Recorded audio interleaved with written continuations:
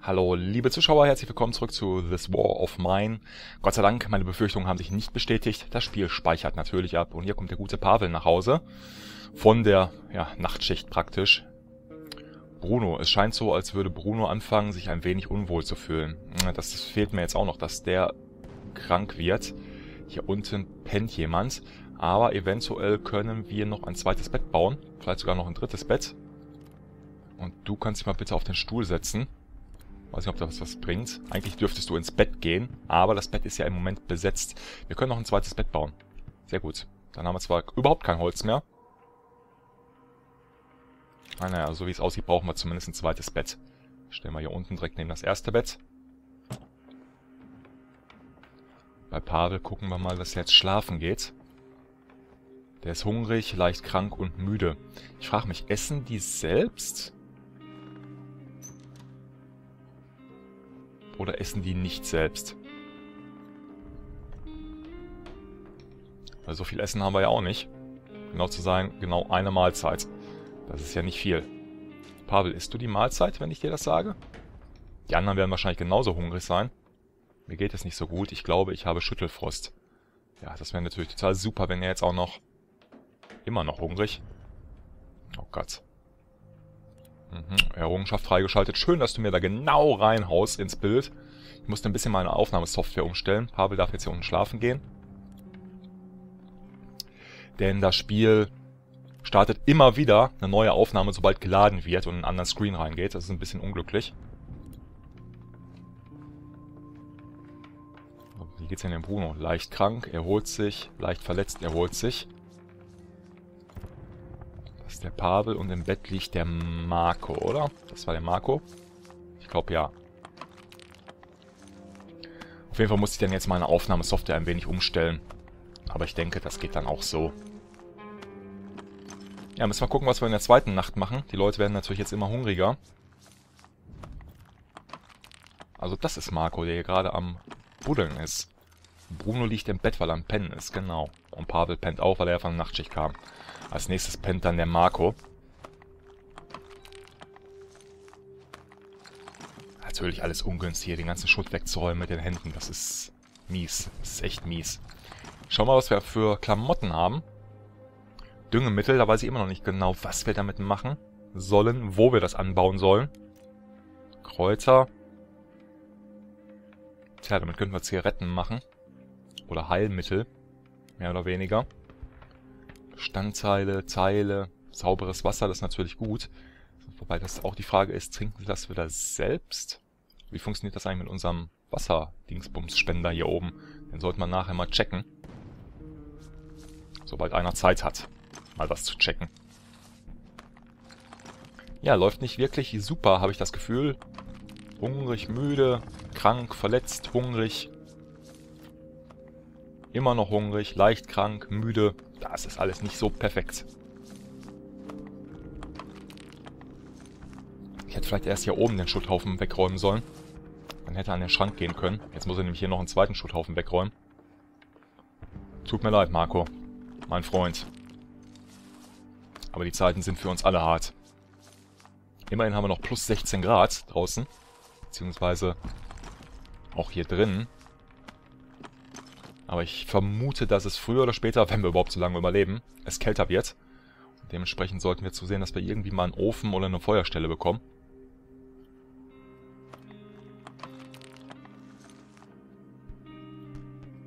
Nun ja. Hier ist auch noch was zum Durchsuchen. Hier ist noch Schutz. Hier ist noch ein Schrank.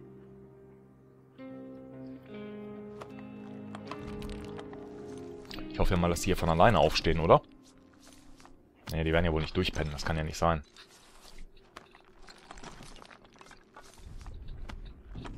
Aber immerhin darf dann der Marco heute Nacht schlafen. muss einer von den beiden. Der Pavel. Dann wird er plündern gehen. Und Bruno tut halt gar nichts. Doch, der steht Wache, natürlich.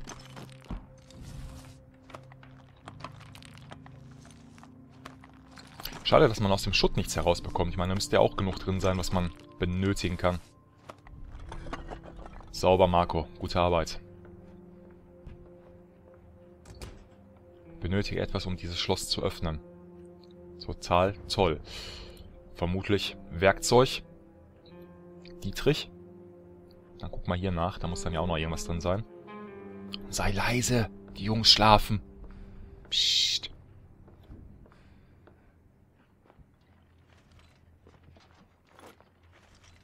So. Schön, was zu essen. Das nehmen wir. Materialien immer her damit und Holz. Sehr schön, wir nehmen alles. Da ist auch noch Wasser bei. Perfekt. Dann öffnen wir nochmal diese Tür bitte. Ich frage mich, ob wir später auch umziehen können. In Anführungsstrichen umziehen, wenn wir irgendwie ein anderes Haus leergeräumt haben von Bewohnern, sozusagen. Könnte etwas Ruhe vertragen. Ja, das kannst du jetzt noch eben machen. Schön, da ist auch noch Wasser drin. Und noch mehr Materialien. Dann nehmen wir auch wieder alles. Und Elektrozeug. Okay, weiß ich jetzt noch nicht, was wir mit dem Elektrozeug machen. Was ist das denn, wenn man da draufklicken? Gleich ist eh schon 8 Uhr. Dann ist der Tag vorbei. Wie gesagt, Marco darf schlafen, Bruno macht Wache. Marco schlafen, Bruno Wache stehen und Pavel wie immer... Nein, nein, du darfst sogar im Bett schlafen, da muss man drauf, gut drauf achten. Und wenn du so schläfst, auf dem Stuhl, auf dem Boden oder auch, weil sich ins Bett legen darf. Also Marco darf ins Bett. Obwohl er geschickte Plünderer ist, aber das kriege ich jetzt im Moment noch nicht hin. Jetzt war er den ganzen Tag wach, jetzt muss er pennen. Pavel, du gehst wieder plündern.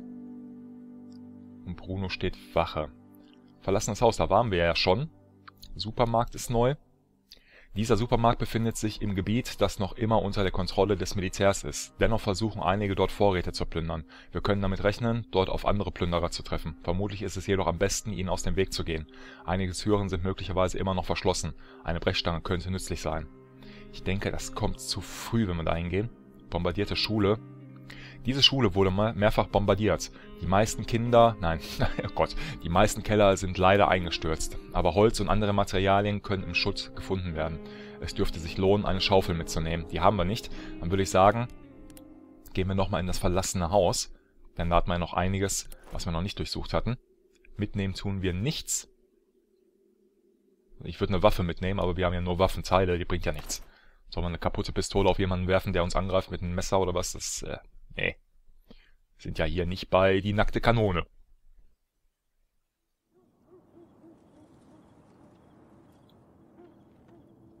Die Tür war, glaube ich, zu, ne? Oder? Wenn ich das recht in Erinnerung habe. Naja, egal. Gehen wir durch den Keller.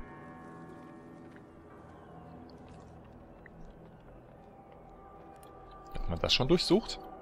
Zeigt er mir wieder die gleichen Orte an, die wir schon durchsucht hatten? Ja, dann nehmen wir alles mit. Holz können wir auf jeden Fall gebrauchen. Um im Fall zweifelsfall auch noch ein drittes Bett zu bauen. Wieder Töne hier oben, aber ich denke, das ist wieder die Ratte. Ich meinte, um Ofen zu bauen. Oder noch ein drittes Bett, das brauchen wir nicht. Da kommen wir erstmal klar mit. Ich nehme das mit und das. Das können wir nämlich stacken. Elektroteile können wir jetzt nicht stacken. Das Holz können wir dort noch einmal stacken. Dann haben wir noch einen Platz frei. Ich habe jetzt das Gefühl, dass sich die Orte immer wieder aufladen. Über Nacht. Kann das sein? Also ich war der Meinung, das hätten wir schon durchsucht. Halt, erst gehen wir zum Kühlschrank. Vielleicht finden wir da rein etwas zu essen. Ja, sehr schön. Was haben wir hier? Gemüse nehmen wir mit. Das Essen nehmen wir auch mit. Was lassen wir denn dafür hier? Dafür lassen wir diese Materialien hier. Nehmen dann natürlich das Essen mit. Denn das haben wir im Moment dringend nötig. Was ist das denn hier? Zucker. Ohne Zucker gäbe es keinen Schnaps. Ein essentieller Bestandteil für den Gärungsprozess. Aha. Ist natürlich nicht übel. Nicht übel. Dann lassen wir erstmal das Schießpulver hier. Und nehmen nämlich auch noch das Wasser mit. Jetzt habt ihr gedacht, ich nehme den Zucker mit, ne? Nee, nee. Erstmal das Wasser. Klaut ja niemand den Zucker. Will hoffen, dass das liegen bleibt. Bevor wir jetzt abhauen, können wir uns hier in dem Haus ja nochmal umschauen. Was es hier noch so gibt. Ist hier oben noch eine Etage. Nicht, dass das doch noch ein Mensch ist. Boah, wäre das heftig. Was haben wir denn hier? Eine Notiz. Am ersten Tag haben sie uns ausgeraubt. Zwei Tage später haben sie unsere Mädchen ermordet. Ich habe sie alle erschossen. Aber ich möchte die Waffe nicht mehr benutzen. Sie ist kaputt und hinter dem Haus vergraben. Am nächsten Teil, nein, der nächste Teil sieht zittrig aus. Wenn Sie das lesen, suchen Sie nicht nach mir. Hinterm Haus vergraben. Natürlich die Frage, wie bekommen wir da hin? Vermutlich brauchen wir dafür dann sowieso eine Schaufel. Also erstmal durchgucken. Durch die Tür. Nicht, dass das doch noch ein Mensch ist. Ne, ist eine Ratte. Da läuft sie. Nope, ist niemand drin. Die ist abgeschlossen. Ja, dann, äh, weiß ich nicht. Hm. Wenn sie abgeschlossen ist, dann gehen wir halt. Ansonsten brauchen wir den Rest ja nicht zu durchsuchen.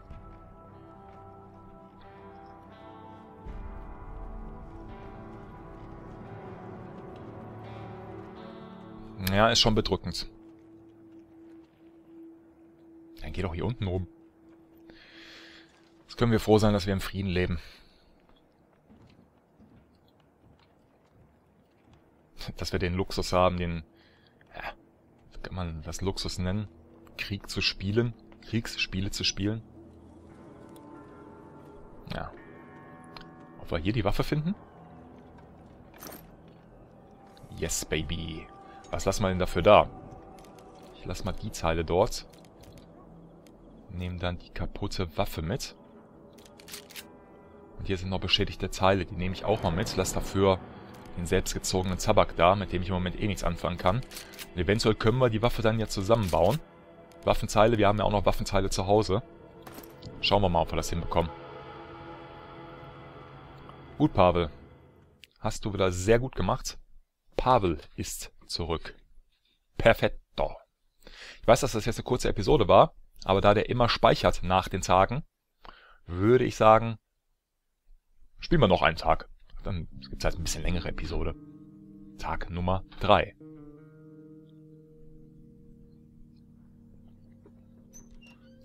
Ich habe sehr viele nette Dinge gefunden. Was für eine Nacht. Jawohl, Pavel, das ist wahr. Deswegen darfst du jetzt auch ins Bettchen. So, das ist der Marco. Der Marco darf direkt mal zur Werkbank.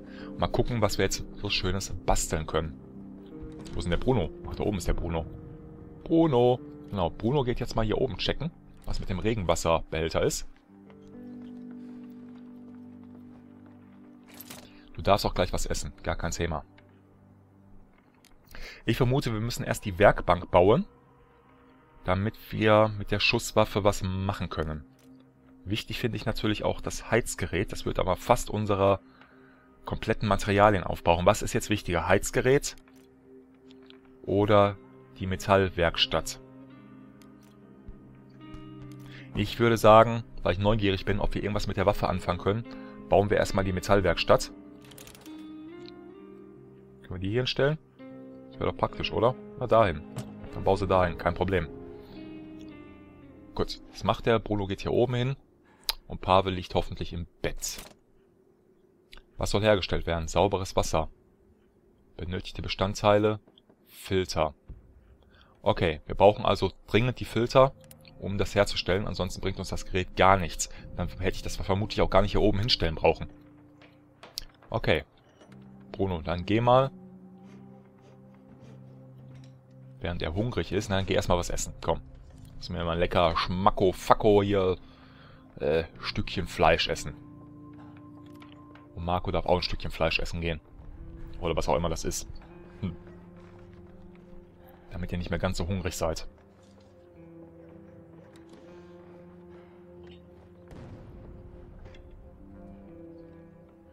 Steht ja natürlich genau für einen Kühlschrank. Schade, dass es nicht gekocht ist. Ja, wer hat denn jetzt gegessen? Marco hat gegessen. Dann darf Bruno jetzt essen. Die sind natürlich immer noch hungrig, klar. Aber Marco geht nochmal bitte zur Werkbank. Nicht sehr sättigend, aber es ist Essen. Ja, es tut mir leid. Kannst du denn noch irgendwas machen? So. Was soll hergestellt werden? Eine Brechstange. Natürlich praktisch, die bräuchten wir eventuell auch.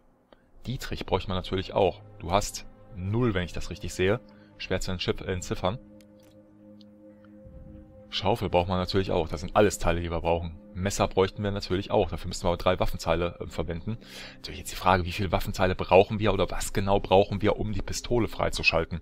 Das wäre schon eine mächtige Waffe, wenn man so inmitten eines Bürgerkriegs ist und in einer eingeschlossenen Stadt. Das wäre wirklich sehr, sehr mächtig. Hm. Tja, gute Frage. Ich würde sagen, wir bauen erstmal das Brecheisen zusammen, auch wenn das viele Materialien benötigt. Ähm, hoffentlich verbraucht die sich nicht.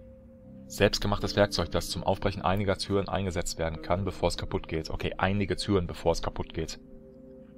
Verrichtet die Arbeit langsam und laut. Sollen wir doch lieber einen äh, Dietrich bauen? Es ist für den einmaligen Gebrauch. Knackt Schlösser, jedoch schnell und leise. Bauen wir nochmal drei Stück von. Und Bruno, was wollte ich mit dem nochmal machen? Der sollte... Bruno? Bruno! Na, geh mal zur Werkbank, dann kannst du... Es ist jemand an der Tür. Machen Sie auf, ich habe etwas mitgebracht. Zum Tauschen. Vorsichtig, Leute. Vorsichtig.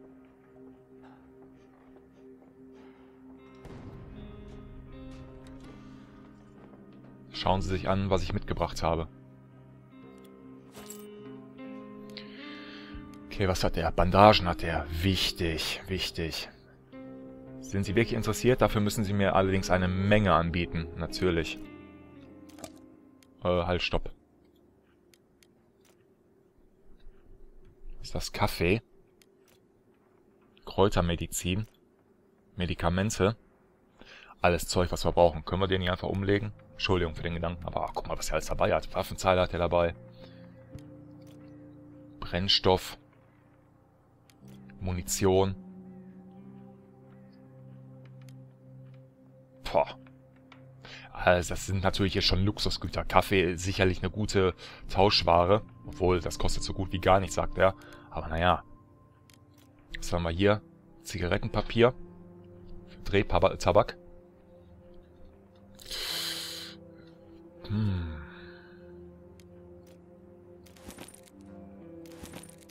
Nehmen wir mal drei davon. Eine Bandage eine Medizin und dafür will er eine Menge haben. Was ist denn bei ihm eine Menge? Kaputte Pistole. Nichts Besonderes, aber auch nicht schlecht. Sehr gewöhnliches Zeug. Ich glaube, wir haben nichts von wirklichem Wert. Die Dietriche, nee. Okay, lassen wir das sein mit dem Zigarettenpapier. Also seht ihr schon, wie kompliziert das ist, wie schwierig das ist, was wir hier tauschen sollen. Also, was ist jetzt wirklich wichtig? Was ist nicht so wichtig? Können wir das Schießpulver abgeben? Weil bevor wir irgendwann mal eine Bombe bauen können oder selbst Patronen herstellen können, dauert es, glaube ich, noch. Das ist ihm nicht genug. Vielleicht noch ein Elektroteil dazu. Das reicht nicht. Versuchen Sie es nochmal.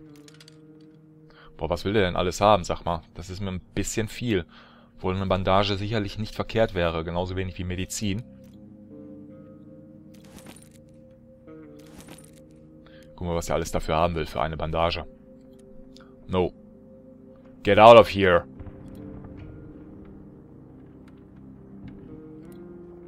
Mach die Tür zu.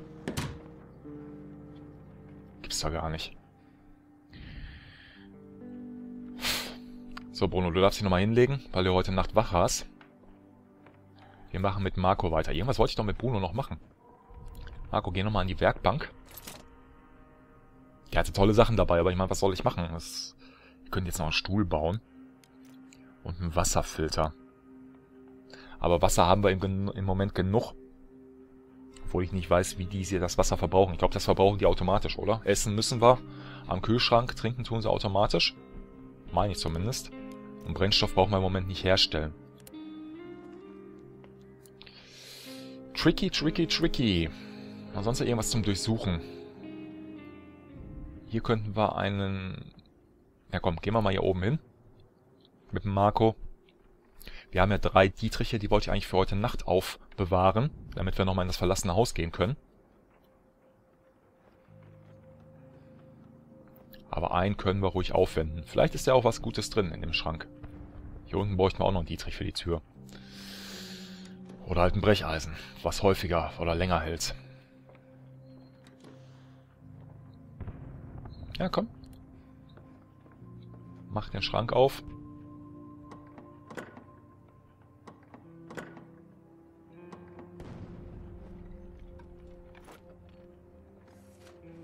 Okay. Kreuzer und Bücher. Bücher können sie ja, glaube ich, nicht nur als Brennmaterial verwenden, sondern auch zum Lesen, oder? Uns fehlt es wirklich an Büchern. Die haben wir jetzt, ja? Weiß nicht, ob wir dafür jetzt noch extra einen Bücherschrank aufstellen müssen. Um die Bücher zu benutzen. Kann ich mir eigentlich nicht vorstellen. Hier unten ist nichts mehr, oder? Er ist immer noch hungrig. Ja, okay. Im Erste-Hilfe-Schrank ist nichts drin, sehe ich gerade. Dann geh doch mal hier runter und benutze den Dietrich an dieser Tür. In der Hoffnung, dass hinter dem Schutthaufen irgendetwas Tolles liegt. Kann ich auch rennen lassen? Ja. Ja, nicht, dass... Ja, davon werden sie wahrscheinlich wieder müde und verbrauchen noch mehr Energie. Naja, egal. Jetzt ist er fertig gerannt.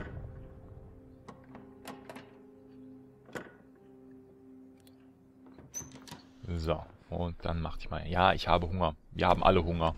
Es geht es allen nicht gut. Gut, trinke ich nochmal einen Schluck, während der gute Marco am Buddeln ist. Ich glaube, als nächstes brauchen wir wirklich eine Schaufel. Aber das ist echt das Problem. Ich meine, ihr seht, wie viel wir bauen können. Es ist alles nützlich. Man kann alles verwenden. Nur was hat wirklich höchste Priorität? Was braucht man als allererstes? Das ist die gute Frage.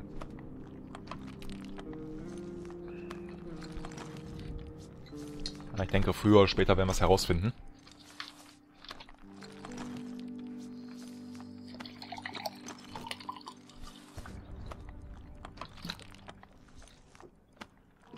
Komm, Marco, hau rein. Ist ein Tango.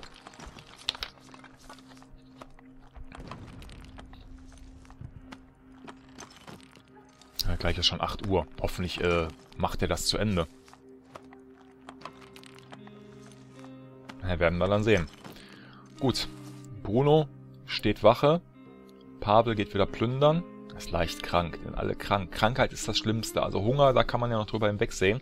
Aber das zieht natürlich, das eine zieht das andere natürlich nach sich, ist klar.